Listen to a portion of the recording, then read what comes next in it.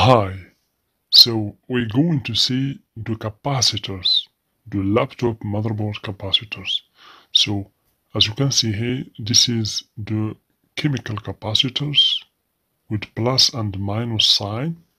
Okay, the chemical capacitors or, or polarized capacitors. Here the white part is for the plus and the red part means the minus. Okay, so there is many types of this kind of capacitors.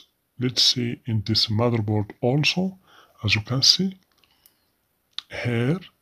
Okay, so we have here two chemical capacitor or polarized capacitors. Okay, this sign, this blue part is a minus, and the other part is for the positive terminal. Okay. So this kind of capacitors, you should pay attention if you want to install it. You should respect the polarity, okay? It's not like a ceramic capacitor. For the ceramic capacitor, you can solder it or connect it to the motherboard randomly.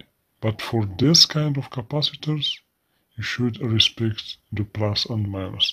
As you can see here, always you can find these capacitors near to the inductor, okay? Because this is a filtering capacitor, okay? Near to the inductor or coil, as you can see. So in every circuit, you will find this kind of capacitors, okay? As you can see here, in this motherboard also, as you can see, so we have two capacitors here with the black color. The black color means the minus, okay?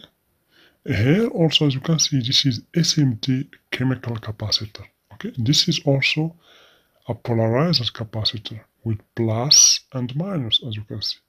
This kind of capacitor also, you should respect the polarity. The same working principle. You can find these capacitors also near to the inductors okay always the capacitor is near to the inductor so in every circuit you will find capacitors and inductors okay?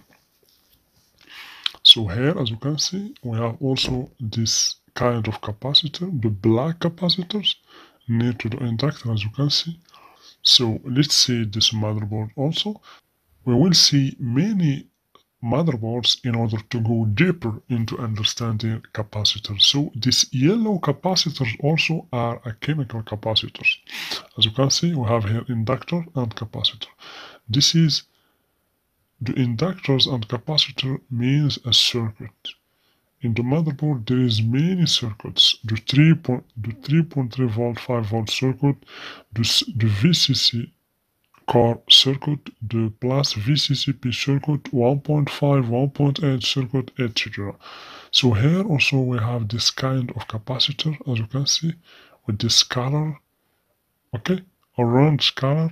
This is also capacitors near to the CPU and to the GMC head, as you can see. Here, as you can see, this is normal capacitors. This is polarized capacitors. Okay, so this is all about the SMD capacitors and chemical capacitors. So you should always pay attention for this kind of capacitor. You should pay attention to the polarity.